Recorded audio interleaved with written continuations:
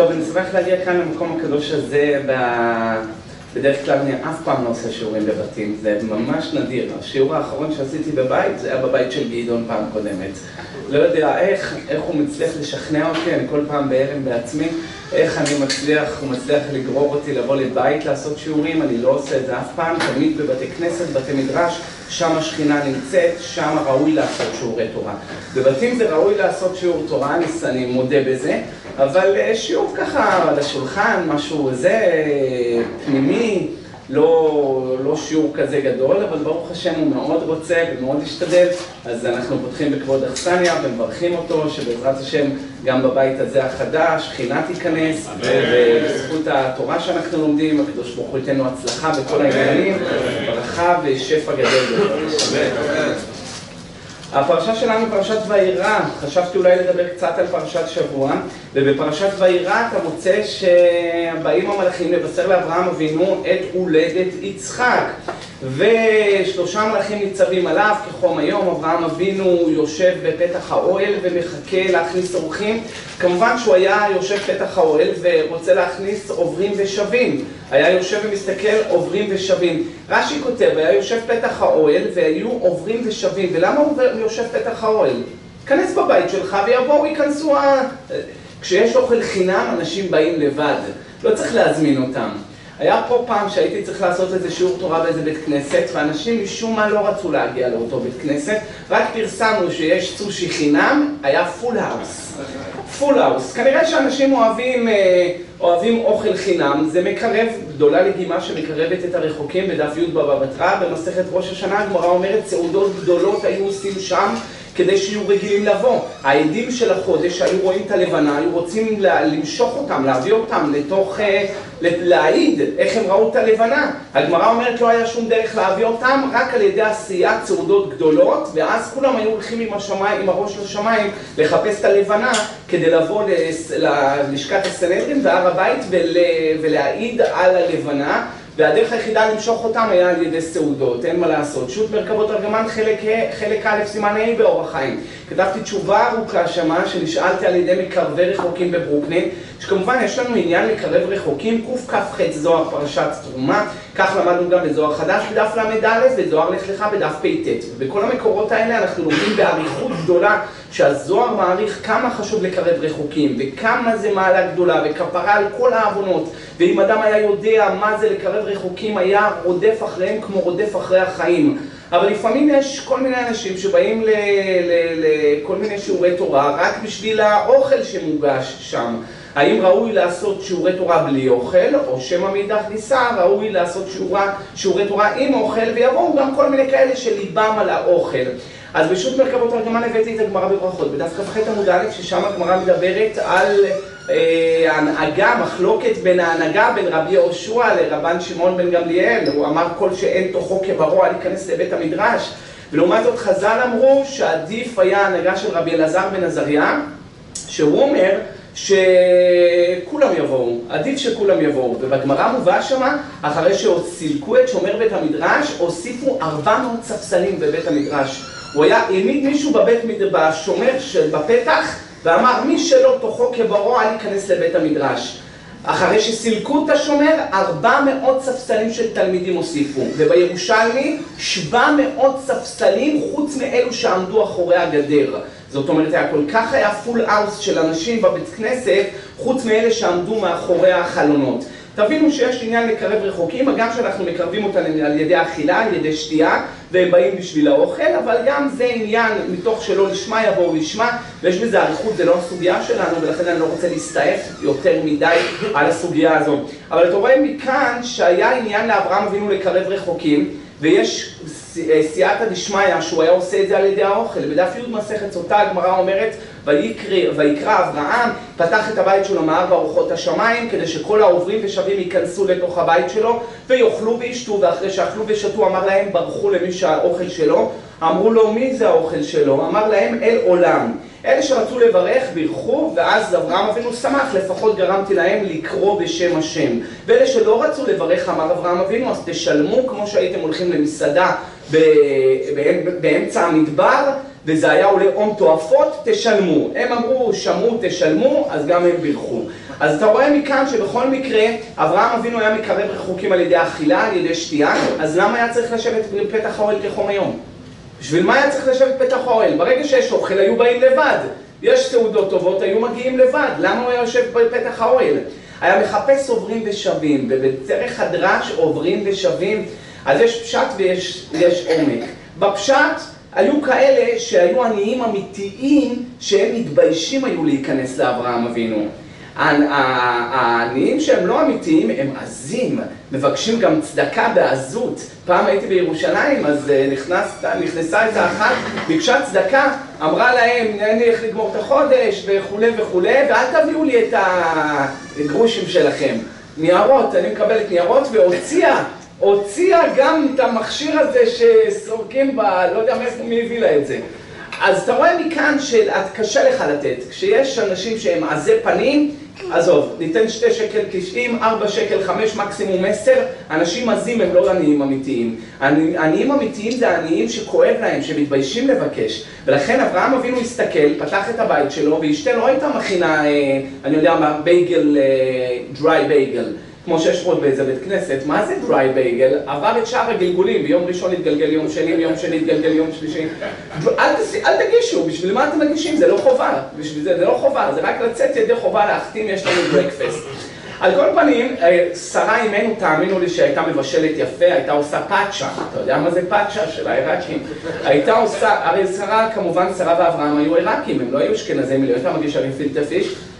ובטח לא. מרוקאים לא נראה לי, אני לא חושב שהיה מרוקאים אז, אבל הם היו מארם נהריים. אם הם היו מארם נהריים, אז ארם נהריים זה בגדד, אז בוודאי שזה היה, היו עיראקים, תרצו ולא תרצו, וכל המרוקאים פה שיקפצו. בכל מקרה, אז הם היו עיראקים, אז שרה הכינה פלאו ובג'יג' וטבית וקובה ונתנה להם לאכול, וזו עבודה קשה להכין את כל האוכל של שרה. והיה שמה, אה, שרה tent היה שם, אוהל שרה, היה שם אוהל של שרה וכולם היו נכנסים והיו אוכלים שם ונהנים. אברהם לא היה אכפת לו שבאים כל מיני צ'ילי מיני ואנשים שלא באמת צריכים את האוכל. את מי הוא חיפש? את האמיתיים. אבל האמיתיים ביישנים, מה לעשות, הם, הם, הם בחוץ. אז בגלל שזה היה מוקד משיכה, זה היה מקור משיכה, זה כבר הפך להיות כמו center, המקום של אברהם אבינו, אז כבר תלו שם לוח מודעות, אני מאמין, ובלוח מודעות שמו שם דרושים למכירה, לקנייה, להשכרה, כמו היום. והעניים האמיתיים היו מתקרבים לפתח של אברהם אבינו ומתביישים להיכנס, אז היו מסתכלים כאילו בלוח מודעות, והיו הולכים עוד הפעם, ועוד פעם היו חוזרים שם ומסתכלים, עושים סיבוב, אלה נקראים עוברים ושבים, ואברהם ידע, אלה העניים האמיתיים, היה יושב פתח האוהל והיה מכניס אותם לבפנים. אלה שהם עזים והיו נכנסים ואוכלים ושותים חינם, היה יודע אברהם אבינו, הם לא עניים אמיתיים, אבל אני לא אבייש אותם, לפחות יקראו בשם השם שיעשו ברכת המזון. אבל את אלה שבאמת היו נזקקים, שהעני אמיתי הוא שבור, אז אברהם אבינו היה יושב פתח האוהל כחום היום, וזה היה יום שלישי למילתו, שאז הכי כואב, כמו שכתוב אצל שמעון ואצל דינה. ויהי ביום, ויהי ביום השלישי בהיותם כואבים, ויבואו שמעון ולוי על שכם, ואז הרגו את כולם שמה. היום השלישי למילה היא הכי קשה, ואברהם אבינו תמיד חיפש לעשות מצוות, גמרא אומרת בדף פ"ז במסכת בבא מציאה גדולה הכנסת אורחים יותר מהקבלת פני שכינה. הלא אברהם אבינו מדבר עם הקדוש ברוך הוא, בא לבקר אותו, בא לבקר אותו. וירא אליו אדוני באלוני ממרא והוא יושב פתח האוהל כחום היום. למה הוא בא לדבר איתו? לא כתוב מה הוא אמר לו בכלל. תראו כל הפסוקים. ומכאן הוכיחו המפרשים שרק הקדוש ברוך הוא בא לבקר את אברהם אבינו, הוא לא בא להגיד לו כלום, לבקר אותו, אתה חולה? אני בא לבקר אותך. הגמרא לומדת מכאן כמה מעלה גדולה יש לבקר חולים. דף י"ד עמוד ב' מסכת סוטה, לעולם מתנהג אדם במידותיו של הקדוש ברוך הוא. מה הוא קובר מתים תקבור את המתים, שנאמר ויקבור אותו בגיא מול בית פאור. מה הוא מלביש ערומים תלביש גם אתה ערומים, שנאמר ויתפור השם לאדם ולאשתו ולפנות אור. מה הוא מנחם אבלים תנחם גם אתה אבלים, שנאמר ויברך אלוהים את יצחק אחרי מות אביו אברהם. מה הוא מבקר חולים, גם אתה תבקר חולים, שנאמר וירא אליו אדוני ואלוהים ממרא. אתה רואה שהוא בא אליו, ביקר אותו, אז הוא ביקר את החולה. ואברהם אבינו רואה רואה שלושה ערבים, והבטוח אברהם אבינו ששלושת האורחים האלה הם ערביים, ועוזב את הקדוש ברוך הוא והולך להכניס אורחים. מכאן אומרת הגמרא, גדולה הכנסת אורחים יותר מהקבלת פני שכינה. אתה רואה מכאן שאברהם אבינו עזב כביכול את הקדוש ברוך הוא והלך להביא את הערבים האלה להכניס אותם הביתה.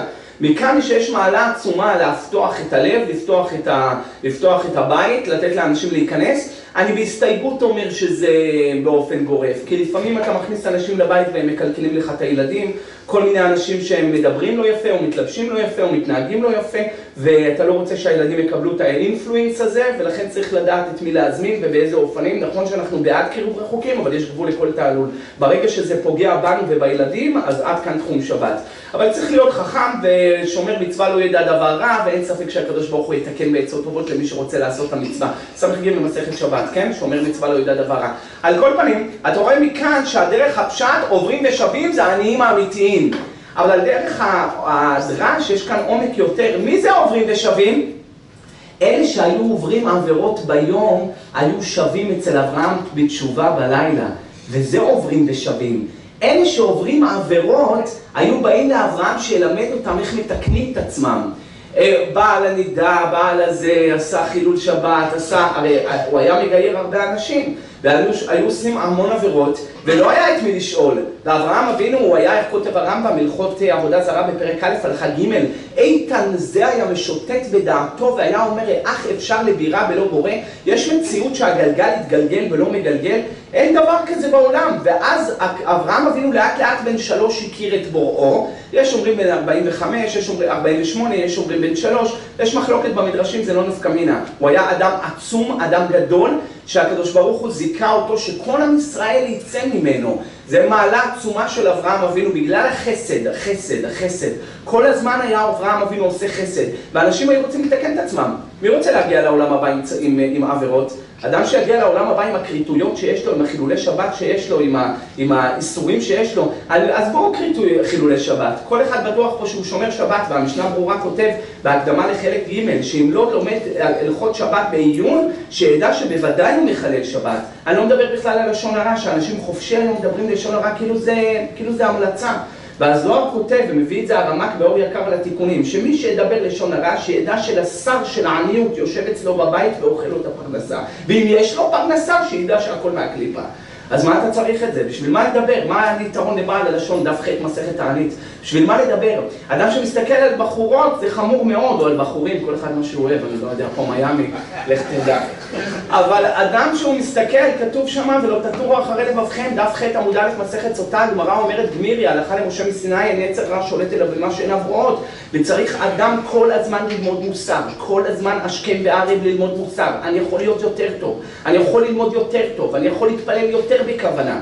אני יכול, ואם אתה חושב, אתה תשב לך פה על זרי הדפנה במיאמי, תאמינו לי רבותיי, אנשים לא, הכי, הכי ש... אה, אה, אה, פחותים, עוד יותר פחותים ממכם בשכל, הרבה יותר פחותים ממכם, בירושלים הם כבר תלמידי חכמים. כי אדם איפה שהוא נמצא זה סוחף אותו. לעולם הולכת חכמים יחכם ורואה כסלים ירוע. אדם שהוא הולך אצל החכמים סופו להיות חכם כמותם. אדם שהוא יושב בין עמי הארצות, אז סופו שהוא יהיה עם הארץ כמותם. דף ל"ב מסכת סנהדרין, צדק צדק תרדוף, אלה אחר חכמים לישיבה, אחרי רבי לבית שעריים, אחרי רבי עקיבא לבני ברק, אחרי רבי מתיה בן חרש לרומא.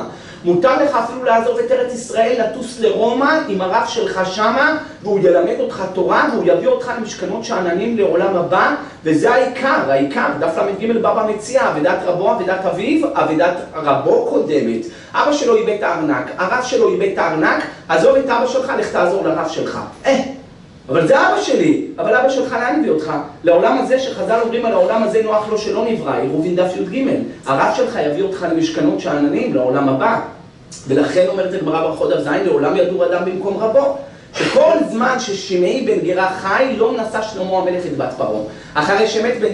אחרי שמת שמעי בן גרה רבו של שלמה המלך, מיד כתוב שמה, והתחתן שלמה את פרעה, וראינו מה עלה בגורלו בדף ע' עמוד ב' סנהדרין, מה שהגמרא מספרת על מה שהיה עם בת פרעה. והרדימה אותו, וצרות עד שאימא שלו באה והרביצה לו, תפתחו את הגמרא שם. אתה רואה מכאן כמה היה חשוב לחז"ל שבן אדם יהיה תמיד מסביב לחכמים, מסביב לרבנים, מסביב לאנשים יראי שמיים.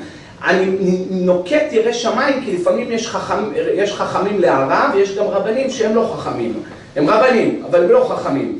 כן, יש גם, הרוב הרבנים אני מאמין שהם חכמים וידענים ויראי שמיים, אבל יש גם כאלה שהם עסקנים וכל מצ... עניינם זה רק לגייס כספים. חוץ מזה, אתה לא תשמע ממנו דבר חוכמה, ולא בכאלה אתה צריך להידבק. אני לא מוציא עליהם לעז, כי הם עושים עבודת קודש, ובטוח שעם הכסף שהם מגייסים הם עושים עבודה, עבודה טובה, לקירוב רחוקים וכולי, אנחנו לא בביקורות. אני רק אומר, באיזה רבנים אתה צריך להידבק? באותם אלה שמלמדים תורה, שיביאו אותך לעולם הבא, שלמדו אותך לתקן את המעשים שלך. הנה תראה את אברהם אבינו עליו השלום. כולם שהיו עוברים עבירות היו שווים אצלו בתשובה. היה מלמד אותם איך לחזור בתשובה. ואנשים לא שמים לב איך עוד שנה ועוד שנה ועוד שנתיים והזקן כבר נהיה לבן ופתאום נהיה לך קצת זה ופתאום הילדים פתאום גדלים. אתה לא שם לב איך אתה נשאר עם הארץ כבר שנים ובמיוחד כאן בניכר ובמיוחד כאן במיאמי. ואתם לא נמצאים ב-41 street. זה ממש מציק לי הרעש הזה. זה אתם לא נמצאים ב-41 street. 41 street, נכון שזה מיאמי ביץ', אבל אחרי הכל יש שם ישיבה של רבי צוויג והישיבה הקדושה, ואני התפללתי שם כמה פעמים בימים נוראים. ויש שם כולל ותלמידי חכמים ואנשים עם כובע שחור וזה חשוב מאוד שהילדים יראו אנשים עם כובע שחור. פעם אני הייתי מתנגד שבעלי בתים ילבשו כובע שחור בשבת. בשביל מה אתה לובש כובע שחור בשבת? אתה לא תלמיד ישיבה וזה לא הולם אותך בכלל. זה, זה, זה נראה הכי צבוע בעולם היום אני לא מסכים לזה, היום שיניתי את דעתי ואני חושב שאם הוא בעל בית ירא שמיים והוא לומד תורה וקובע עיתים לתורה הוא צריך לשים כובע שחור בשבת שהילדים יראו את זה לפחות. אפילו שאתה יודע שזה לא מתאים לך אבל הילדים צריכים לראות את זה. ברגע שהילדים יראו דוגמה אישית בבית יודעים אבא הולך עם כובע שחור אנחנו משפחה חרדית אנחנו משפחה, אל תשים את זה, תרגיש שאתה ואני עוד ציוויתי על אחד בלונדון כשהיה שם והילדים שלו כבר היו בגיל חינוך וציוויתי עליו ללכת לקנות כובע שחור ולשים לא כי הוא היה מגיע לו וכי הוא תלמיד חכם אבל הילדים צריכים לראות, אנחנו, אנחנו חרדים, אנחנו חרדים בבית. הילדים צריכים לראות אבא עם חולצה לבנה. הילדים צריכים לראות שאנחנו אפילו אם אנחנו לא לומדים תורה כל היום ואנחנו לא בני תורה, הלוואי זכינו אבל לפחות יראו בבית שזה בית עם סממנים של תורה הם ירצו להיות גם כאלה. אתה חייב לבנות לילדים שאיפות. אתה חייב לבנות לילדים את הרצונות שלהם. שמה אנחנו. אם אתה תיתן לילד אה, בחירה תגיד לו מה אתה רוצה להיות שתהיה גדול? אז הוא יגיד לך אני רוצה להיות רופא, אני רוצה להיות טייס, אני רוצה להיות מכבי אש. אתה צריך לבנות לו, אה, לבנות לו חלום לא, אתה תהיה רביי, אתה תהיה חכם, אתה תהיה, אם תגיד לו את זה כבר, כבר הכניס את הראש שלו שהוא יהיה חכם, אבל אם אתה נותן לו אופשנס, אז אחר כך הוא כבר לבד עם כל החלומות שלו, אתם יודעים מה זה ילדים, כל שני וחמישי, כל שנה משנה את החלום לכיוון אחר. אבל אתה צריך, אתה, זה התפקיד שלך. ולכן אצל אברהם אבינו תראה שחז"ל התירו לך לצאת מארץ ישראל, דף י"ג מסכת עבודה זרה אסור לצאת מארץ ישראל. חוץ מלצאת אישה, לצאת אישה, אני עזבתי את ארץ ישראל, האמת הייתי רב פה במיאמי במייפל ריץ' ואחרי שראיתי שאני לא מוצא פה שידוכים, זה פשוט מדבר בשידוכים, מיאמי זה פשוט מדבר, אין שידוכים, אין שידוכים. איך אמרו? שידוכים זה כמו חנייה, אתה בא בזמן יש חנייה טובה. לא באת בזמן חנייה כפולה, יעני גרושה או אלמנה. לא באת בזמן חניית נכים, אתה לוקח את מה שיש, מה שהביאו לך זה מה שאתה תפסת. במיוחד כאן, אנשים לא שמים לב ונשארים רווקים אחרי הרבה הרבה שנים ומתבגרים ומתבגרים והזמן רץ ומתקתק וחבל על זה. לכן לא הייתה ברירה, טסתי לארץ ישראל כדי להתחתן, כמובן אחרי ששאלתי את הרב שלי והרב אמר תבוא לארץ ישראל להתחתן. חיפשתי שידוך בארץ ישראל ואז קיבלתי טלפון שיש בחורה בניו יורק שהיא מתאימה. אז טסתי בחזרה לניו יורק, ובאמת זאת הייתה אשתי והתחתנתי איתה, וברוך השם אה, אה, יש ילדים. אז, אז, אז רבנו ארי כותב בשער המצוות, בפרשת עקב, אם עברת את הים למצוא אישה שלא הכרת אותה ולא הכירו אבותיך, בידוע שזה שידוך אמיתי. ככה הוא כותב. הוא גם כותב עוד סימן, איך תדע אם זה שידוך אמיתי. אם היה חתול שחור בחתונה, פתאום התחילו לריב, מה פתאום אנחנו שילמנו על התקליטן, מה אנחנו שילמנו אותו דבר, הם שילמו על התזמורת, מה פתאום שילמנו, אני רואה כולכם מחייכים, אז כולכם שידוכים אמיתיים. אז ברוך השם. זה אחד מהעניינים, אחד מהרמזים, כי הסטרה אחרא לא רוצה שהם יתחברו, אז מה שעושה הסטרה אחרא, היא מכניסה מתחים. אז מה שעושים כדי לתת לה מים אחרונים, שוברים את הכוס מתחת לחופה. המנהג הזה מקורו בברכות ל"א, שולחן ערוך קס, תקס באור החיים ובאבן העזר, גם כן הרמה מביא את זה, שנהגו לשבור כוס בחתונה, כדי לתת לסטרא אחרא מים אחרונים, אנחנו מאחדים עכשיו את הזוג, אז הסטרא אחרא מתעצבנת שיש איחוד, אז אנחנו שוברים את הכוס ומביאים לה להתעסק בזה. על כל פנים, כשחזרתי לארץ ישראל, לניו יורק, אז מצאתי פה את האישה שלי והתחתנתי. מותר לעזוב את ארץ ישראל כדי להתחתן עם אישה. מותר לעזוב את ארץ ישראל כדי ללכת אחרי רבו, אפילו עד רומא, ומותר לעזוב את ארץ ישראל אם עלו המחירים ואין לך איך להתפרנס, ונמצא בחוץ לארץ, זה כבר בבא בתרא צדיק א', שם הגמרא מתירה אם עלו המחירים של הלחם ואין לך איך להתפרנס, מותר לך לעזוב את ארץ ישראל, ככה ראינו על אלימלך, בעלה של נעמי, ואומות אלימלך איש נעמי, יצאו לשדה מואב בגלל שהיה חסר להם אוכל. אתה רואה מכאן שהתירו חז"ל, כל כך היה חשוב ביניהם העניין של התורה, שכל כך היה חשוב ביניהם העניין של הדבקות בצדיק, אני נקרא לזה בצדיק, אני לא ברסלב, הלוואי שהייתי, לא, אני לא, אבל הדבקות בצדיק, הדבקות בחכם, הדבקות ביראת שמיים, זה היה כל כך חשוב לחז"ל, כי אתה, הוא, הוא, הוא ימשוך אותך, הוא ימשוך אותך, הוא ייקח אותך למחוזות יותר טובים, ועוד שיחה, ועוד עצה, ועוד תורה, ועוד לימוד, ועוד, לאט לאט אתה תתעלה, אתה לא תשים על עצמך לב. בדיוק אותו דבר, שכשאתה תהיה רחוק ממנו, אתה לא תשים לב, ואתה פשוט dragging down, אתה פשוט מאבד את עצמך, ואז אתה חושב שאתה צדיק, ואתה עם הארץ, ואתה עם הארץ, ואתה רחוק מאוד מהצדיקים, בגלל שאתה מנסה בכל הכוח לשחות בים הזה של מיאמי, שהוא מלא בטומאה, מלא בקושי, ויש המון obstacles כאן כדי לגדול ולהיות ירא שמיים, וצריך מאוד בעשר אצבעות להחזיק כדי להיות אדם ירא שמיים, וזה לא פשוט, ואם אתה לא מחובר לחכמים, לרבנים, הבית שלך הוא לא בית של תורה, אתה לא מדבר על חכמים בהערצה, רוצה לבנות את החלומות והשאיפות לילדים, אז פשוט אתה לא שם לב איך אתה, הילדים הולכים לאט לאט לאיבוד, והאישה הולכת לאט לאט לאיבוד, רבותיי זה כמו, כמו תחנת דלק. מכונית לא תיסע אם אין לה, תח... אם היא לא נכנסה לתחנת דלק ומילאה את הטנק. לא יעזור. יש מכונית אפילו, אה, אני יודע מה, ג'גואר, אני יודע מה, 2020 או 2021. אם היא ריקה מדלק, היא לא תיסע. היא חייבת להיכנס לתחנת דלק ולתדלק. אותו הדבר גם, גם הנשמה, גם הגוף. אם הגוף לא יאכל, עכשיו בבית אתה לא תאכל, אחרי זה בחוץ אתה לא תוכל ללכת. אותו דבר, אם המכונית לא תיכנס לתחנת דלק, אחר כך בחוץ היא לא תוכל לנסוע. הוא הדין בדיוק בנשמה. אם היא לא תיכנס לתחנת דלק, היא לא תיכנס למסעדה, שזה כמובן הבית מדרש, הבית כנסת, שימלא אותו בתורה, אחר כך בחוץ, אני אומר לכם, אני חותם על זה, אי אפשר לשמור את העיניים. אי אפשר לשמור את הברית, אי אפשר לשמור שבת כמו שצריך, אי אפשר לשמור את הפה מלשון הרע, זה בלתי אפשרי אם אין לך יראת שמיים, זה בלתי אפשרי. אפילו אתה יודע את כל התורה כולה, הגמרא אומרת בדף ל"א מסכת שבת, והיה אמונה תיתך חוסן ישורות חוכמה ודעת, פסוק אצל ישעיה ל"ג. לקחה הגמרא את הפסוק הזה וחתכה אותו, ומכל מכל, אה, מכל תיבה למדה סדר אחר. והיה אמונה סדר זרעים, איתך סדר מועד, חוסן סדר נשים, ישורות חוכמה ודעת, נזיקים קודשים טהרות. ואפילו הוא יודע את כל התורה הזאת בעל פה, אם יראת השם יוצרו, אין, אי לה לה. אם יש לו יראת שמיים שווה, אם אין לו יראת שמיים לא שווה אפילו שהוא זוכר את הכל. אז לפעמים יש לאדם המון תורה, ועדיין הוא לא ירא שמיים. המון תורה ועדיין הוא לא ירא שמיים. זה כמו דואג, כמו אחיתופל, כמו גחזי, שהיו תלמידי חכמים מופלגים, ועדיין יראת שמיים הייתה חסרה להם. וצריך אדם לעבוד על זה כל הזמן, ע"ב עמוד בית מסכת יומא, ל"ג עמוד בית מסכת ברכות, דף מ"ט מסכת סוכה, בהרבה מקומות, דף ו' מסכת ברכות, בהרבה מקומות אנחנו לומדים שחז"ל מדברים so highly על יראת שמיים, וזה משהו שצריך עבודה, זה לא בא לבד. אבל אם אין תורה, אין יראה. אם אין יראה, אין תורה. זאת אומרת, זה הולך ביחד. נכון שלפעמים נמצא כאלה שיש להם תורה ואין להם יראה, אבל זה היה מהבחירה שלהם, כי הם רשעים, כמו שאומרת הגמרא בחגיגה, טינה הייתה בליבם. אינטרסנטים, אנשים רעים שמחפשים איך לרחוב על הציבור עם התורה שלהם.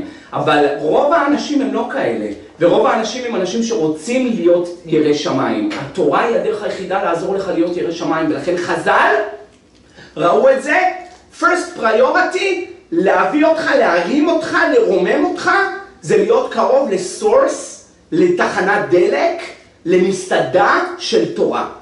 תחנת דלק שתתדלק אותך. ורק אחרי שאתה מתודלק ביראת שמיים עכשיו אתה יוצא למיאמי ביץ' ותעבור שם איזה אחת אשת פוטיפר, רק על ידי היראת שמיים שתדלקת את עצמך אתה תוכל להוריד את הראש, כי בלי זה זה אבוד, זה אבוד, זה אי אפשר, ואני אומר לכם, נער הייתי גם זקנתי, ועברתי הרבה הרבה דברים בחיים ואנשים באים אליי עם צרות שלהם בלי סוף. יראת שמיים זה הדבר היחיד שיעזור לך לעבור את העולם הזה. כי בלי זה אתה לא תצליח לעשות כלום. אין. לא תצליח להשפיע על האישה, לא על הילדים. אתה תגיד להם תלמדו. אתה בעצמך לא לומד, מה אתה אומר להם תלמדו? יש כאלה, אני לא מבין איזה חינוך זה. הוא אומר לו, אל תדבר לשון הרע. אבל אתה מדבר לשון הרע על השולחן של שבת, אז מה אתה אומר לו, אל תדבר? אתה אומר לילד, תלמד, איך תלמד גמרא. הוא לא אבא שלו לומד גמרא, אפילו אבא שלו לומד כל היום בכולל, הוא צריך לראות את אבא שלו בבית לומד. הנסתרות להשם אלוקינו, הנגלות לנו ולבנינו עד עולם. אם אתה לא תהיה אנטנה שמוציאה אנרגיות של יראת שמיים, אז אתה תדע שאתה תפסיד את האישה ואת הילדים, אתה קברניט של הבית והכל ייפול, הכל ייפול. ולכן חייב אדם להתחזק ביראת שמיים על ידי שהוא מתפלל יותר בכוונה. אני נכנס איתכם לבית כנסת, תפילת שחרית רגילה. אני אומר לכם, רק על התפילה, רק על התפילה מירא שמיים. ככה אני מצביע. זה לשון הרע, כן? אני אומר את זה רק בלשון המשל. זה באיזי אתה קולט, באיזי. קודם כל באיזה שעה הוא מגיע לתפילה. אם הוא לוקח לך את המניין של הנץ, שזה כבר יותר ירא שמיים, או המניין של, של תשע, שזה כבר יראת שמיים שלהם מגורדת לרצפה, מה פתאום אתם בתשע מתחילים, ויש כאלה בכלל באחת עשרה, אלה בכלל. פעם הייתי במוסיוף, באחת עשרה וחצי התחילו מניין, לא ידעתי, שמעתי מניין עם טלית ותפילין, לא ידעתי אם זה מניין של צדיקים שמתפללים מנחה מוקדם עם טלית ותפילין, או מניין שלא של צדיקים שמתפללים שחרית מאוחר. הייתי פעם בברוקלין, אז הגעתי לברוקלין, היה שם לנדאו האוס, לא יודע אם אתם familiar with, הייתי שמה והתפללתי, ועכשיו זה כמו שטיבלח כזה, עוד זה מדבר זה בא, אתה גומר מניין, מתחילים עוד מניין, גומר מניין, מתחילים עוד מניין, בדיוק אמרתי, למדתי בבא בתרא, התפללתי שם בנס, התחילו מניין בעשר וחצי, גמרו אותו בחמישה לאחת עשרה. אז זה שגמר את המניין בחמישה לאחת עשרה, הוא התחיל בעשר וחצי, הוא מגלגל את התפילין שלו, ועכשיו החבר שלו בא למניין של אחת עשרה. אז ההוא שמגלגל את התפילין שלו, מסתכל עליו ואומר לו, בושה וחרפה, בשעה כזאת אתה בא להתפלל? יא, אמה, אבל אתה בעצמך התחלת בעשר וחצי, למה אתה חצידה קדישה או פרישה? הגמרא אומרת דף ס עמוד ב' בבא בתרא אמר רבי שמעון בן לקיש את קודששו וקושו, קשוט עצמך ואחר כך קשות אחרים. אתה נותן לאחרים מוסר ואתה בעצמך לא כזה? מה, אתה כזה צדיק? אתה רואה כמה זה חמור, קודם כל אתה יכול לראות את היראת שמיים איך הוא בא. עכשיו, יש, גם בזה יש מדרגות, יש אדם בא לנץ, נכנס כי בא סוס פרעה, הוא נכנס. אפילו לא שם תפילין, אפילו לא שם כלום. איך פתאום הגעת איתנו ביחד? פתאום אתה רואה, הוא ביחד עם כל הציבור. איך הספקת? איפה קורבנות? איפה ויברך דוד? איפה? פתאום אתה רואה אותו בעמידה ביחד עם כולם, עשה קפיצת הדרך. יש הנחות בשולחן ערוך בסימן נ"ב באורח חיים, מי שנכנס מאוחר, איזה חלקים מותר לו לדלג ומתי, לפי הקבלה זה חמור לדלג. אנשים באופן קבוע, עצלנים מתחילים מהודו. זה חמור, את כל ה... מי שמבין קצת קבלה שאר הכוונות יודע שאת כל התפילה הוא הרס. כי כל הטעם שעושים את כל הקורבנות ואומרים את הפתאום הקטורת מעלים ניצוצות ששייכים לאותו היום מהקליפה. ואת כל הניצוצות האלה שמעלים מהקליפה, כל חלק בתפילה יש פסוקי דזמרה מעלים אותם ליצירה, יש אחר כך קריאת שמע וברכותיה מעלים אותם לבריאה, ובאצילות מעלים אותם לאצילות, בעמידה מעלים אותם לאצילות, והם נשארים שמה. אתה שאתה מתחיל מהודו, איפה, איפה, איפה מה שהיית צריך לעלות? הגעת בידיים ריקות לאצילות. הרי יש כאן מהלך, יש כאן מגמה של עבודה בעבודת התפילה, לא סתם חז"ל אומרים לה בתענית דף בית עמוד א', זוהי עבודה שבלב, והוא אומר זו בתפילה. אנשים באופן קבוע מתחילים לך מהודו. ועכשיו, הכי קטע, איפה תרצו לדעת מירא שמיים? תסתכלו על איך הוא מתפלל. יש אנשים, לא יודע אם הם עושים בדיחה או אני לא יודע, מה אתם בכלל באים לבית כנסת? אתה רואה אותו, הוא בא לבית כנסת, אתה לא מספיק להגיד, השם שפתיי תפתח, ההוא כבר צועק לך יעלה ויבוא. יא ריבון העולמים, איך הגעת לי יעלה ויבוא? מאיפה התחלת? שאנחנו היינו בקריאת שמע, אתה התחלת? אתה לא מבין באיזה מהירות, ויש כאלה שהוא, אתה רואה אותו ככה בקושי משתחווה. אם לא משתחווה כל הדרך עד שיראה איסר כפונדיון בתוך הלב שלו משתחווה, לא יצא ידי חובת השתחוויה. הוא צריך להשתחוות עד הסוף. ויש אנשים, אתה תראה אותם בתחנונים, סימן צדיק ח' אור החיים. כותב מרן שתפילה בלא כוונה כגוף בלא נשמה, וכשאתם עומדים להתפלל, דעו לפני אתם, מי אתם עומדים, וצריך להתפלל בתחנונים. אתם תסתכלו מהצד, תראו, מי שמתפלל ככה, בתחנונים ריבון העולמים, בבקשה, אני מבטיח לך, אני את השם, תעזור לי, בבקשה, אני מתחנן. יש יראת שמיים, ויש כאלה, הוא עוד בא. ראיתי בעיניים שלי עוד אנשים עומדו מתפלל, או תוך כדי התפילה, הפלאפון מצלצל. אה, בונה ירושלים. מה אתה עונה? החריב ירושלים בגללך. מה בונה? את מי בונה? אתה לא מבין כמה אנשים מקולקלים וחסרים מיראת שמיים, וזה אדם צריך לעבוד על עצמו הרבה מאוד. רבי מאיר אבוחצירא עליו השלום, כשהיה נכנס לבית הכנסת, היה שם את היד שלו על המזוזה ומשתחווה עד הרצפה. והיה אומר את הפסוק, זה הקדמת הזוהר, ואני ברוב חסדיך אבוא לביתך ואשתחווה לך על קודשך ויראתך, ולא היה שק שיחת חולין. והיה מגיע לשם לבית כנסת, היה יושב שם וקורא פתח אליהו בסילודין. פתח אליהו הנביא זכור לטוב ואמר ריבון העלמין, לאן תאכל ולא חושבן, לאן תהילה על כל אליהן, סתמן על כל סתמין, ביראה, בהשתוקקות, בכמיהה, בכיסופים, בהרגה, בגעגועין, לפודשא בריחו. ויש כאלה, המערת פריצים יהיה הבית הזה, אתה רואה אותו מדבר בבית כנסת כאילו זה, כאילו זה מותר. הזוהר כותב בקל"א, זוהר פרשת בתרומה, מי שמדבר בבית כנסת אין לו חלק באלוהי ישראל. זה לא אני, זוהר תרומה קל"א.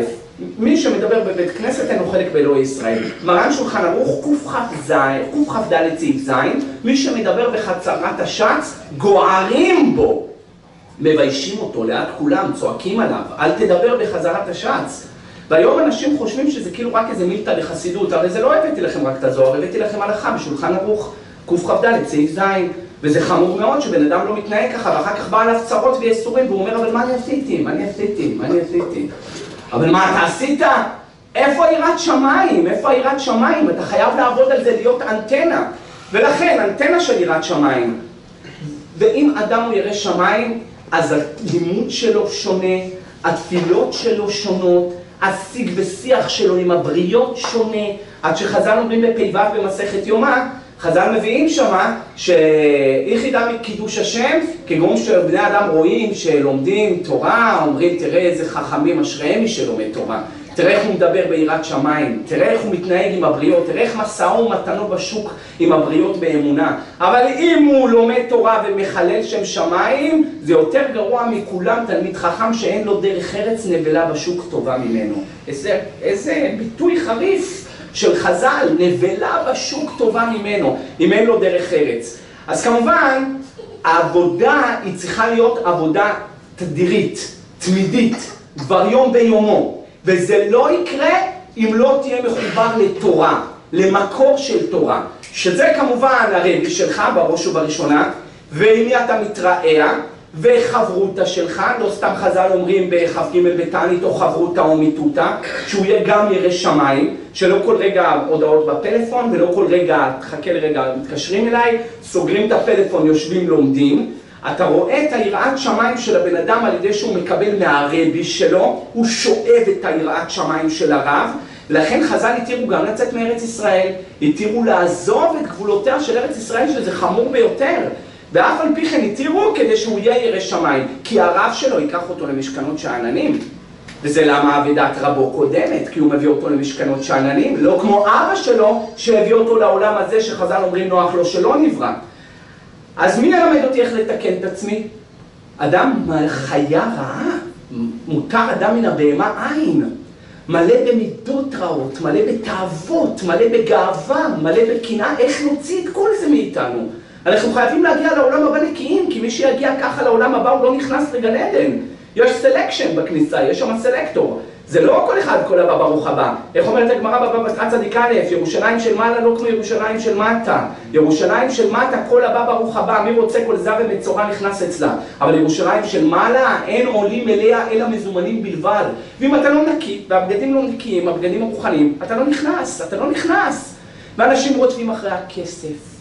וכמה כסף כבר תעשה, כמה, מתי תשב תלמד. יש אנשים שמרבים אה, כספם לצאצאינו וצאצאי צאצאינו וצאצאי... הרי הילדים שלך לא יספרו אותך. בוא, בוא, אמיתי אני אומר, אני מדבר אמיתי. אני לא מדבר סתם.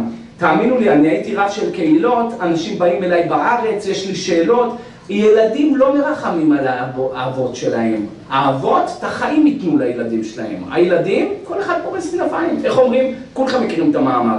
אבא אחד מגדל עשרה ילדים, עשרה לילדים לא יכולים לגדל אבא אחד. אם אין אני למי לי? אם לא אתה תדאג לעצמך ותשב תלמד, אף אחד לא ידאג לך. ואתה צריך לאסוף תורה, ולאסוף מצוות, ולאסוף צדקה, ולאסוף מעשים טובים, ולתקן את עצמך. איך תוציא את כל המידות הרעות? למי אתה שומר את הכסף? למה אתה עובד יותר ממה שאתה צריך? הגאון מווילנה כותב שכל מי שעובד יותר ממה שצריך, ידומו אותו על ביטול תורה. זה, זה שנות אליהו, על מסכת פקיעה בדף א', זה לא אני ממציא, זה הגאון מווילנה. יש לך כסף, אתה יכול לגמור את החודש, הכל טוב, מי אמר לך לאסוף עוד? בא אליי איזה אחד במוצאי, בסוף הדרשה אומר לי, הרב, אתה יכול לברך אותי? אמרתי לו, מה אתה צריך? הוא אומר, תברך אותי בבקשה שאני אקנה בית. אמרתי לו, מה, אתה כבר בן חמישים וכמה, עוד לא קנית בית? הוא אומר, הבנק לא נותן לי הלוואה. אמרתי לו, עד עכשיו לא קיבלת הלוואה, לא הסתדרת בחיים עם בית? הוא אומר, לא הרב, זה כבר הפנטהאוס החמישי שלי, אני לא מצליח לקנות אותו. אמרתי לו, הפנטהאוס החמישי? בוא נעשה עכשיו מגבית וסליחות, נרצי שופרות. אנשים, אתה לא יודע באיזה, באיזה אטמוספרות הם חיים. חביבי, אתה חושב אתה תחיה לעולם. אנשים פשוט חושבים שהם יחיו לעולם, וקונים עוד, עוד ועוד כסף ועוד כסף ועוד, ורודפים אחרי הכסף. חלאס, שב תלמד חצי יום. משש תבוא לנץ, גמרת נץ, עד 12 שב תלמד. אז קשה לבן אדם ללמוד מחצי יום ישר, אבל לאט לאט, כנס לבית מדרש, כנס לכולל. ברוך השם, יש כוללים פה באזור, זה לא שחסר. אני יודע על אחד ספרא, יש להם כולל טוב. חוץ מזה אני לא מכיר, אבל אני בטוח שיש עוד כוללים טובים שיושבים ולומדים תורה. תתחיל ללמוד, תתחיל לעשות משהו. בפרט מי שעבר את גיל 40, חביבי, הזמן רץ, אתה כבר עברת את מחצית החיים שלך. חז"ל אומרים אם בגבורות 80 שנה, אז מישהו בגיל 40 זה ודאי כבר עבר את המחצית חייו. אתה כבר בן 40, 35, חז"ל אומרים 34, 35, אנשי דמים ומרמה לא יחצו ימיהם. זה דואג ואחיתופל שאחד היה בן 34 ואחד בן 35, כי ימי חיינו 70 שנה. נכון? כך כתוב בתהילים, פסוק, אה, פרק צ' פסוק י'. אז ממילא אתה רואה מכאן ש-70 שנה אנחנו חיים. אם בגבורות 80 שנה, נגיד מגיל 40, למה אתה לא דואג לעולם הבא שלך? הרי כל הכסף פה יישאר. חכם לוי ייקח מצוות, דף י"ד עמוד ב' סוטה. כל ישראל התעסקו בביזה, משה רבנו הלך להתעסק בארונו של יוסף. הוא עד היום המצווה נמצאת איתו בגן עדן. הם, כל הכסף הזה נשאר כאן, מי יודע איפה הוא בכלל. יש מי שאומר שאת כל הכסף הוציאו, התגלגל כל הכסף שהגיע להר עד לבית המקדש, בבית המקדש בא טיטוס יימח שמו, החריב את הבית, בזז את כל ירושלים, ובכסף הזה הוא בנה את הקוליסאום ברומא. כל האמפיתיאטרון הענק ברומא, זה הכל, וזה היסטוריונים אה, כתבו את זה, כן? זה לא ספקולציות.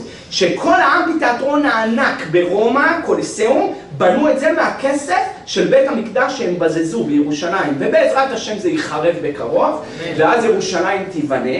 כמו שאומרת הגמרא במגילה בדף ו', אם יגיד לך אדם רומי בנויה וירושלים חרבה, או זו, שתיהן בנויות אל תאמין, שתיהן חרבות אל תאמין. זו בנויה וזו חרבה, תאמין.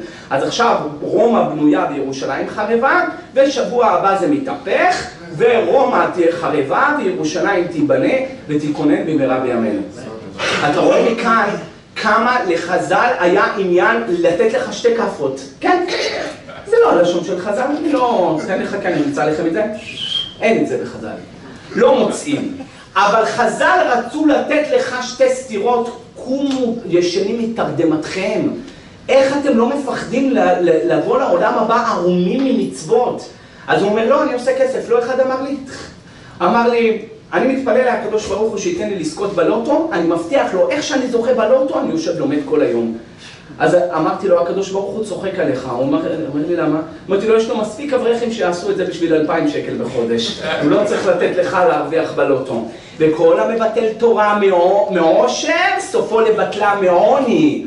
אם אתה, יש לך כסף ובריאות איתנה ואתה יכול לשבת ללמוד ואתה מחליט שאתה לא רוצה ללמוד, סופו לבטלה מעוני. עינינו הרואות שזה לא ככה.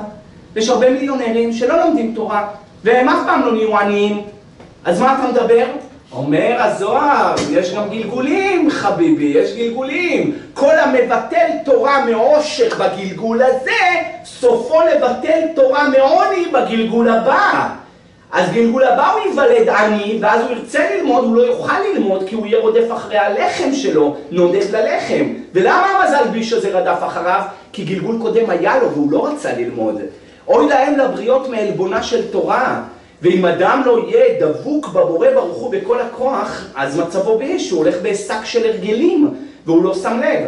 ולכן צריך רב שקודם כל יכניס בך ויחדיר בך יראת שמיים. זה דבר ראשון. צריך אחד שהוא מטאור, אחד שמשפיע עליך. עכשיו, לא חייב שזה, שזה איזה אחד שהוא אה, מפורסם, או אחד שיודע דפים, זה סתם רק בשביל הדרשה. צריך אחד שהדיבור שלו נכנס באוזן שלך. שהמילים שהוא אומר עושה אינפלואינס על הנפש שלך. זה מה שצריך. זה יכול להיות סתם אברך רגיל, זה יכול להיות סתם איזה חברותא ירא שמיים שלך, זה לא חייב להיות רב, אבל זה חייב להיות אדם ירא שמיים, שיגרור אותך להיות עוד יותר ירא שמיים. אז חז"ל אה, אה, הסתפקו איך אנחנו נתקן את עצמנו, אנחנו מלאים בעבירות, מלאים במעשים רעים, איך נתקן את עצמנו, איך נתקן? אז חז"ל אמרו, צריך ללכת לרבי, הרב ילמד אותך איך לתקן את עצמך, ולכן אלה שהיו עוברים העבירות ביום, היו באים לאברהם אבינו ושבים בתשובה. היו שואלים אותו, איך חוזרים בתשובה? איך מתקנים עוון נידה? איך מתקנים עוון חילול שבת? איך מתקרבים לקדוש ברוך הוא? ואני אמרתי את זה, אני לא זוכר אם בשיעור הקודם שהייתי פה, אבל זה מרגילה בפומי, אני כל הזמן אומר את זה. התענוג הכי גדול שיש בעולם הזה, מכל התענוגים שיכולים להימצא, זה לא תורה. כי אם זה היה תורה, כולם היו פה רבנים. כולם היו פה ראשון לציון ומרן. לא משנה שהיום כבר גם ככה כולם מרן. אבל אתה רואה מכאן, אתה רואה מכאן שהתענוג הכי גדול בעולם זה קרבת אלוהים לי טוב. זהו זה.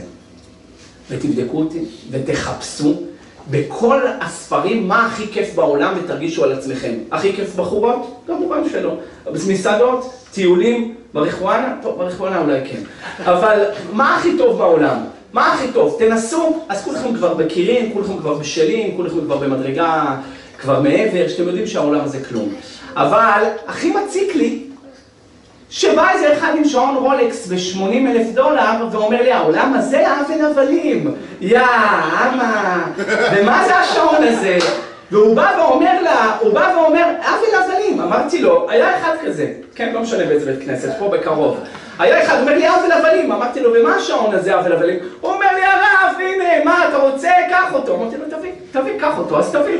תביא, לא, מה, צוחקים, רבנו, צוחקים. לא, יש כאלה, העולם הזה עוול הבלים, והוא נוסע על, אה, על מכונית הכי חדשה שיש, אני יודע מה, אה, כל מיני מכוניות, אתם יודעים שמות יותר טוב ממני.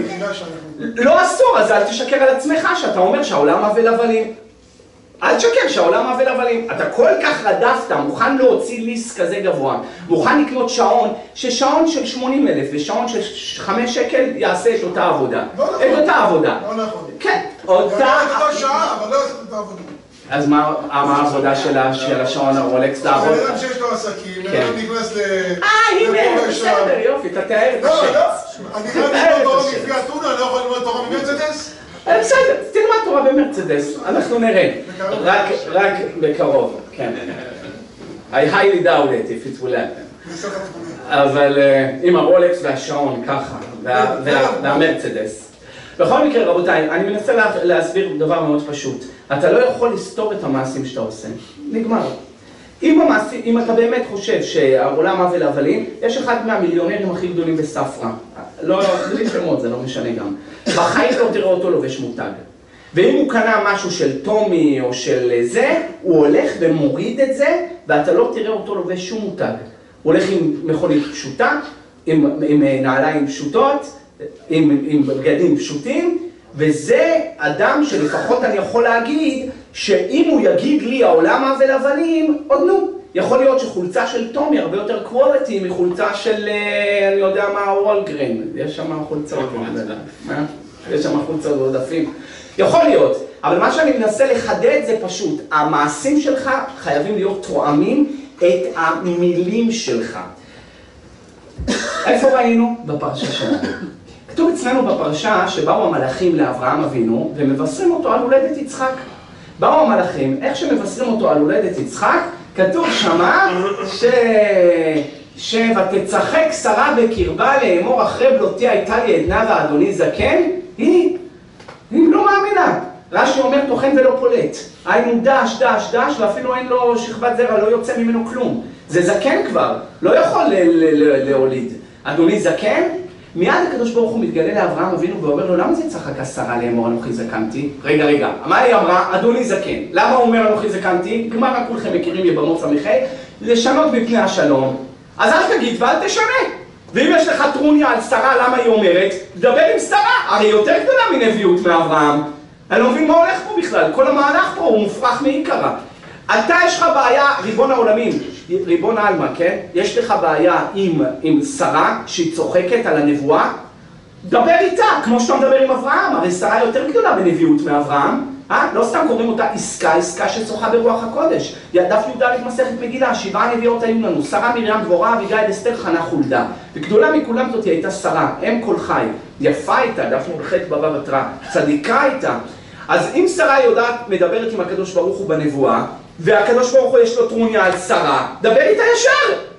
למה אתה צריך להגיד לו את זה? למה זה צחקה שרה לאמור אנוכי זקנתי? ובכלל, מה הוא מדבר עם אברהם? למה אתה מלשין? לכאורה, כן? חס ושלום מלכות שבריחו. למה אתה אומר? למה זה צחקה שרה?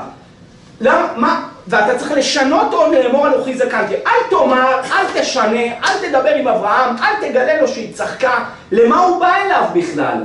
יותר מזה, בפרשה של שבוע שעבר, פרשת לך לך, כשאברהם אבינו מודיעים לו שיהיה לו ילד, גם הוא צוחק. ויפול אברהם על פניו ויצחק. אני כתבתי בחידושים שלי על התורה, שיצחק עדיין היה בגוף של אברהם. נכון? הוא עדיין היה זרע קטן, אבל הוא עדיין היה בגוף של אברהם. לכן כשאברהם נפל, יצחק נפל יחד איתו. ולכן כתוב, ויפול אברהם על פניו ויצחק. גם יצחק נפל. אברהם ויצחק, שתיהם נפלו, ויפול אברהם על פניו ויצחק, גם יצחק נפל, ביחד איתו כשהוא נפל. אבל זה רמז בדברים, רמז. ולא כתוב שמה שהקדוש ברוך הוא בא אליו בטרוניה. על מי הוא בא בטרוניה? על שרה. אבל גם אברהם צחק. כשהודיעו לאברהם, אתה הולך לי, שרה עומדת להיפקד, כתוב, ויצחק. למה על שרה יש טרוניה ועל אברהם אין טרוניה?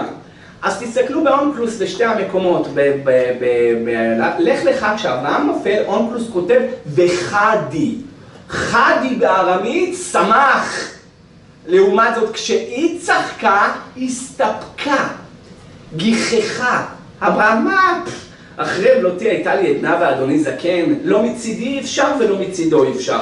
אז יש לה ספקה, יש לה ספקות. אבל אברהם אבינו האמין בהשם כשהוא אמר לו את זה. הוא צחק בגלל שמחה. מה, באמת? איזה כיף. צחק. היא, היה לה ספקות. לקדוש ברוך הוא כביכול הציק, מה פתאום צחקה שרה? מה, יש לה ספקות באמונה? אז תלך לשרה, תגיד לשרה, יש לך ספקות באמונה? הוא בא לאברהם ואמר לו את זה.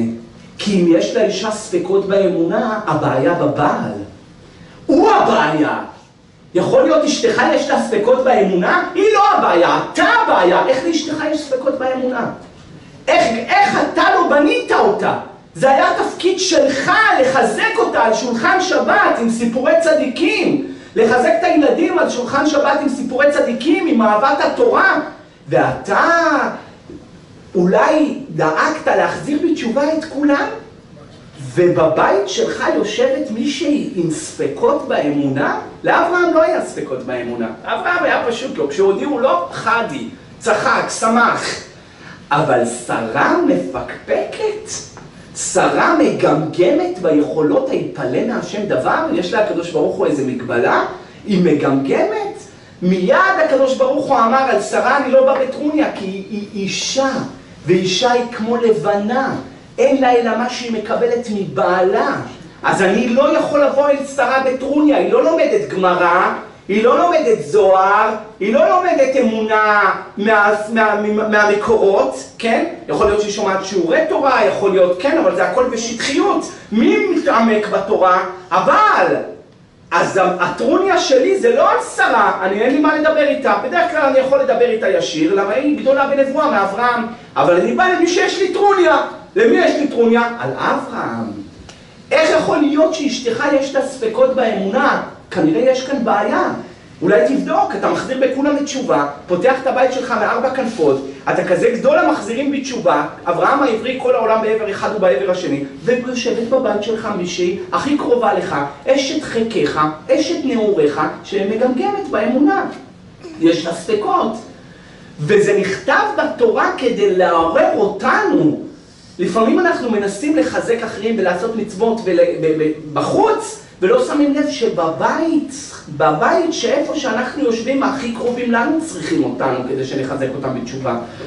ונראה לי שזה הטרוניה שהייתה כביכול על אברהם אבינו, אתה צריך, אתה צריך לדאוג גם לחזק את אשתך בבית ואת כל הסובבים, ואז ממילא הקדוש ברוך הוא היה נתן לאברהם אבינו מוסר על אשתו. וזה לא סתם שכתוב בספרים הקדושים. עכשיו, כשלא יודעים איפה כתוב, אומרים כתוב בספרים הקדושים.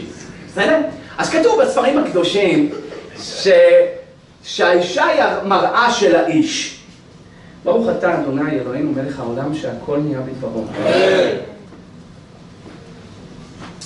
ככה כתוב. איפה? בספרים הקדושים. אז כתוב שהמראה, האישה היא המראה של האיש. אני מסכים בזה, אבל הרבה פעמים זה לא מדוקדק, הרבה פעמים זה לא נכון. זה לא יכול להיות חוק גורף. לפעמים האישה שולטת. רש"י כותב בדף ע"ה עמוד ב' במסכת אה, בבא מציאה, מי שאשתו מושלת בו הוא מאלה שצועקים להשם ואינם נענים. זאת אומרת, יש שלושה שצועקים לבורא ברוך הוא והקדוש ברוך הוא לא עוזר להם. אחד מהם שאשתו מושלת בו. איך יכול להיות? רש"י כותב, הוא אשם. איך הוא נתן לה, איך הוא הגיע למצב כזה שהיא השולטת? הרי הוא צריך להיות השמש, והיא צריכה להיות הלבנה. לכי ומעטי את עצמך, ואז הביא לה שלל של כוכבים. אם היא רוצה לפרוט ולרבות, היא רוצה בנים, היא רוצה פרנסה, היא חייבת למעט את עצמה, היא חייבת למעט את עצמה לגבי בעלה.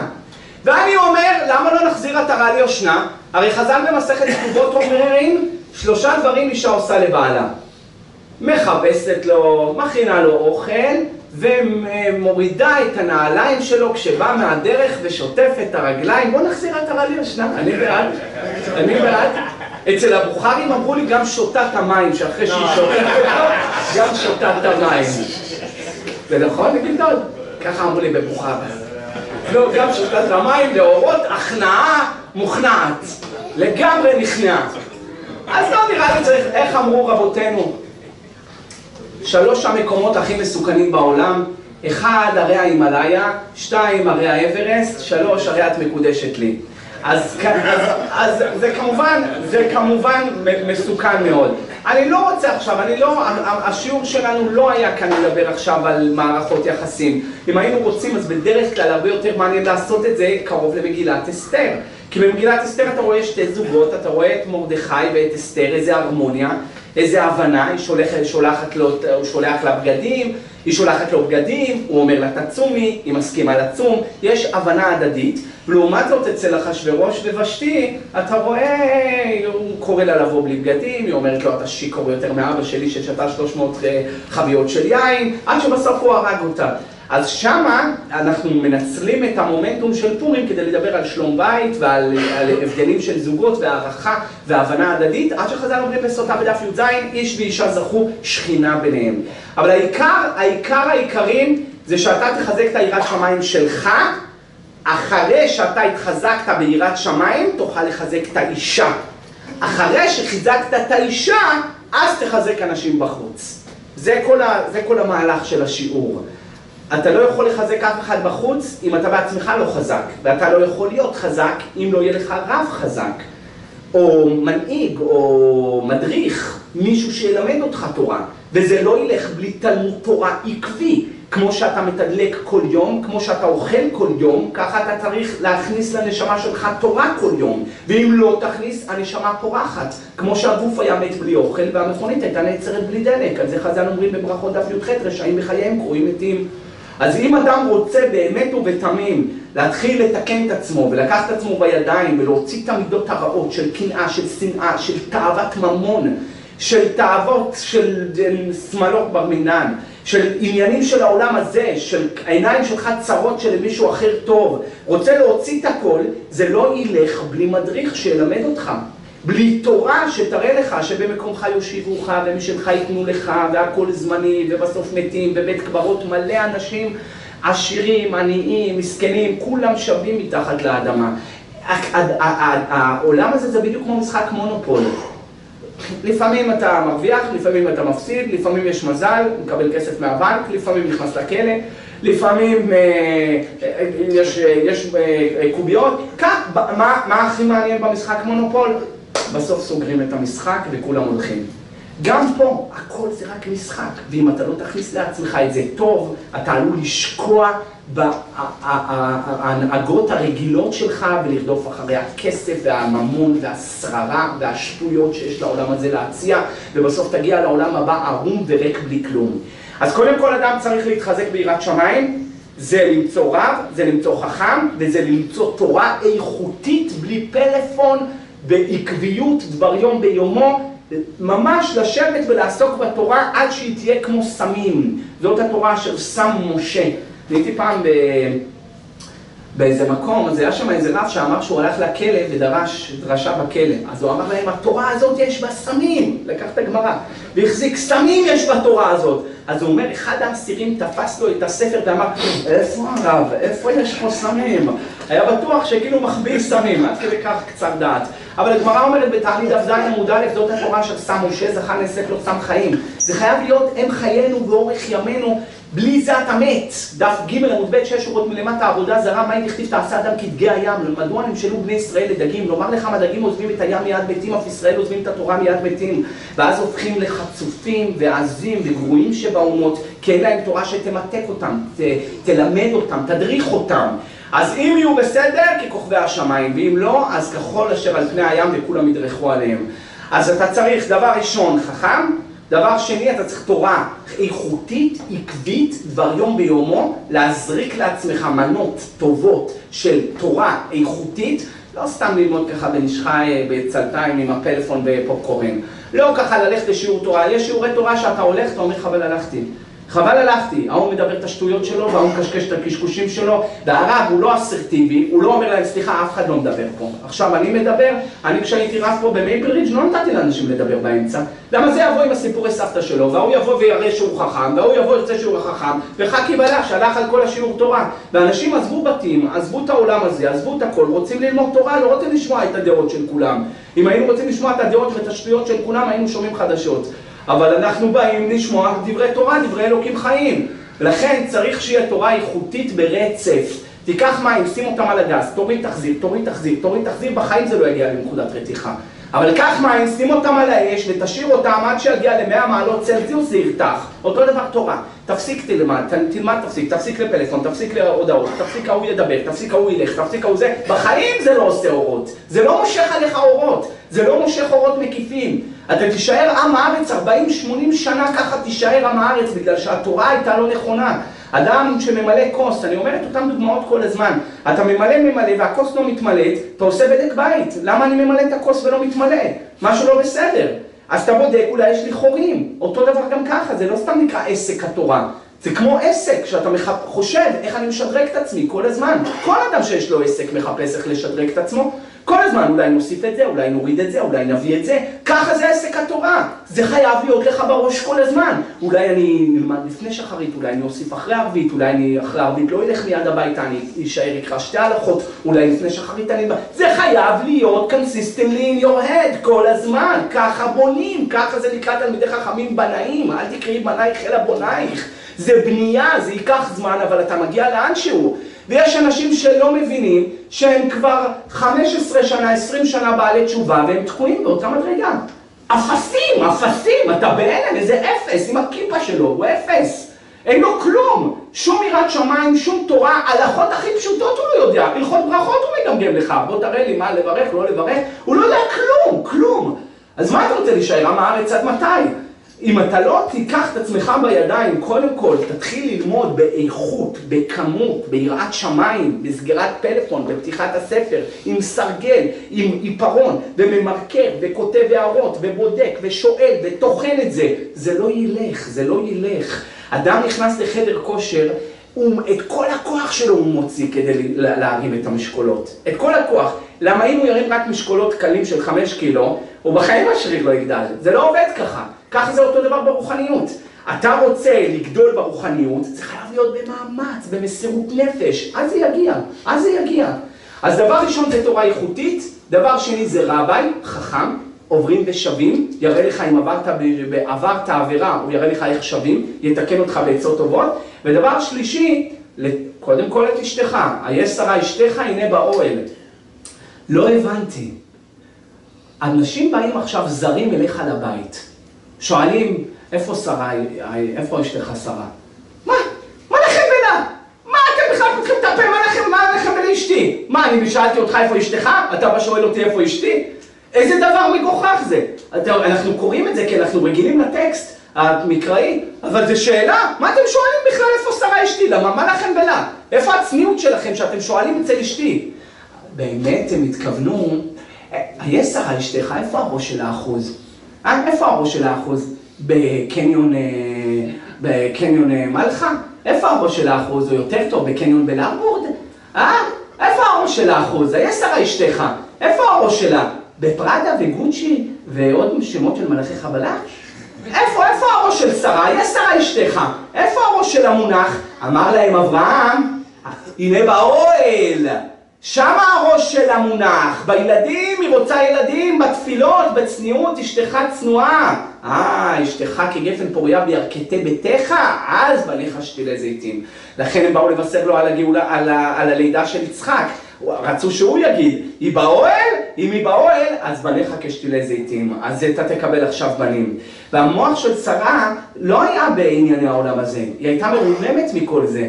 היא הייתה אישה מאוד מאוד מיוחדת.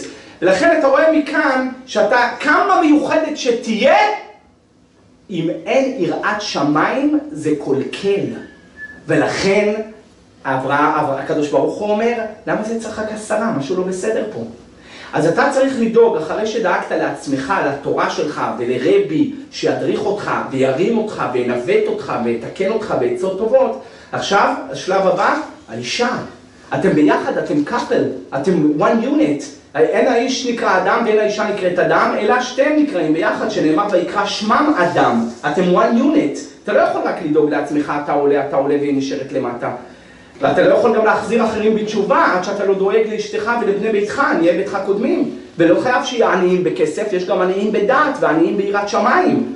ולכן קודם כל צריך לדאוג לעצמך וכיפר בעדו ובעד ביתו, ביתו זו אשתו, בית עמוד א' מסכת יומא, ובעד כל קהל ישראל. קודם כל תדאג לעצמך ליראת שמיים שלך. אחר כך ליראת שמיים של אשתך, ובסוף ליראת שמיים של כל קהל ישראל. אבל תתקן קודם כל את עצמך. אנחנו אפילו בשלב הראשון אנחנו לא נמצאים. בא לתקן את היראת שמיים של עצמך.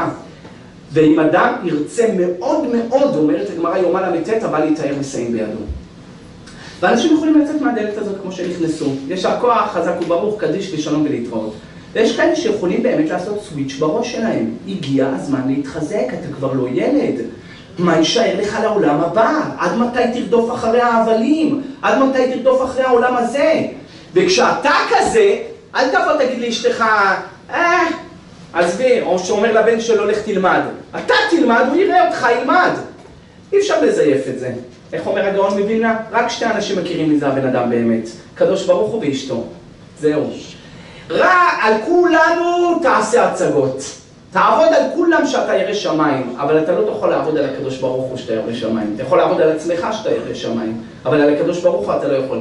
כשהאישה רואה מישהו שהוא מדקדק בהלכה, שהוא מחפש את ההלכה לדעת מה, מה לעשות, שהיא רואה אותו יושב לומד, שהיא רואה אותו קם מזנק מהמיטה הולך לנץ, שהיא רואה אותו בגשם הולך לבית המדרש, שהיא רואה אותו לא מוותר על השיעורי תורה, הוא לא צריך להגיד לה תהיי יראת שמיים, היא כבר לבד הופכת להיות כזאת. היא רואה בעל, יש לי בעל. יש כאלה אפסים. אה, עזבי היום אני אתפלל יחיד בבית, עזבי היום אני זה, טוב נעשה את תפילת השלומים, נעשה וזה, אז הכל חכי בלש, אז אל תתפלל שאחר כך גם היא ככה, והילדים עוד יותר ככה, וזה הולך ומידרדר. אבל כשאתה אה, צוק איתן, אתה חזק, אתה אמיתי, אין ספק שאתה לא צריך לתת לאף אחד מוסר, אל תיתן מוסר. אתה תהיה טוב, כבר הילדים יראו שאבא ככה, האישה תראה שאבא ככה, זה משפיע, זה אנטנה שמשפיעה. יראו אותך מתפלל בדבקות, אחד בבית כנסת יגיד בוא, תראה אותו. אנחנו פלוס מינוס אותו דבר, תראה איך הוא מתפלל, גם, גם הוא יתחיל להתפלל טוב. זה מדבק, יראת שמיים זה מדבק.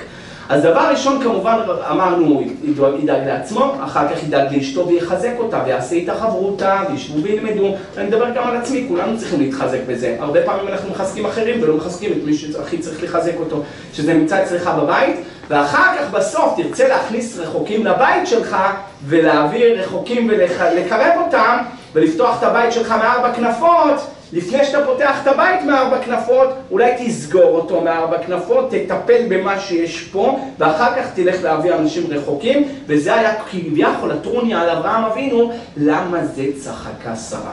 אז אמיתי אומר לכם, הכנתי לכם שיעור אחר. הנה השיעור, אני חושב שהוא יפה ומעניין הרבה יותר מהשיעור שאמרתי.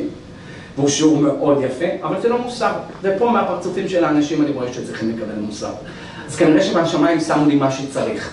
אבל uh, אני יודע על אנשים פה שהם אנשים יראי שמיים, ויש פה אנשים שהם משתדלים ומשקיעים ולומדים תורה ומתפללים בנץ ונותנים צדקות, אשריהם וטוב חלקם.